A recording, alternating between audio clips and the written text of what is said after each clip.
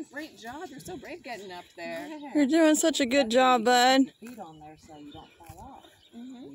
Hang on tight. Say, first time on a horse. Okay? Gabriel, you ready to walk?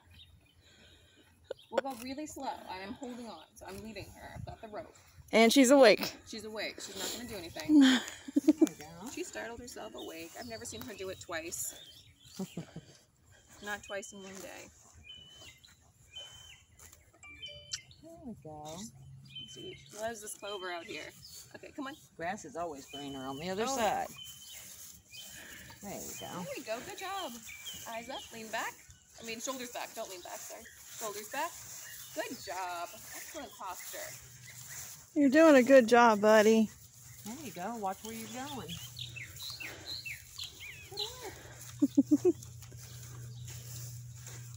He's not freaking out. No, he's been really good.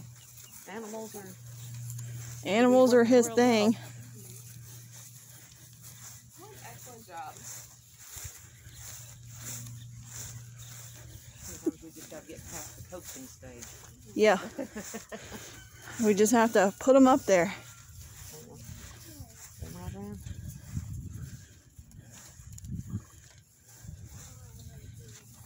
Oh, we can talk now. Yep, he's gonna talk. See those babies we were petting earlier?